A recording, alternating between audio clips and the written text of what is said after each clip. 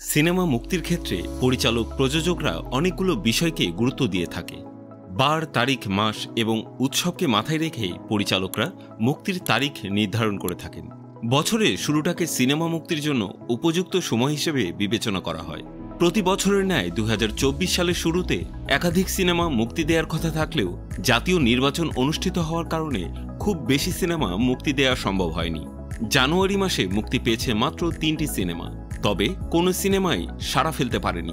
ফেব্রুয়ারি মাসে জানুয়ারির দ্বিগুণ সিনেমা মুক্তির তালিকায় রয়েছে। ফেব্রুয়ারিতে মুক্তির তালিকায় সিনেমার মধ্যে জয়া আহসান অপবিশ্বাসের মতো তারকাদের পাশাপাশি দিঘির মতো নবীনদের সিনেমাও রয়েছে। চলুন জেনে আসি ভাষার মাস ফেব্রুয়ারিতে কোন কোন সিনেমা মুক্তি পেতে যাচ্ছে। নয় ফেব্রুয়ারি মুক্তির তালিকায় রয়েছে নির্মাতা নুরুল আলম আতিকের সিনেমা পেয়ারার সুবাস। এতে জয়া আহসান, তারিক আনাম খান, আহমেদ রুবেল সহ আরও অনেকেই অভিনয় করেছেন। একই দিনে মুক্তি পাবে দিন ইসলাম পরিচালিত অপু বিশ্বাস অভিনীত ট্র্যাপ। এতে অপু বিশ্বাসের বিপরীতে থাকবেন তরুণ অভিনেতা জয় চৌধুরী। এছাড়াও আরও অভিনয় করেছেন মিশা সওদাগর, আমান রেজা, তাহমিনা মৌ সহ আরও অনেকে। অপু বিশ্বাস অভিনীত আরেক সিনেমা, ছায়াবৃক্ষ মুক্তি পাবে ষোলোই ফেব্রুয়ারি। চা শ্রমিকদের জীবনের গল্প নিয়ে সরকারি অনুদানে সিনেমাটি নির্মাণ করেছেন পরিচালক বন্ধন বিশ্বাস। এতে অপু বিশ্বাস ছাড়াও অভিনয় করবেন নীরব নৌসাবা সুমিত সেনগুপ্ত, শতাব্দী ওয়াদুদ সহ আরও অনেকে।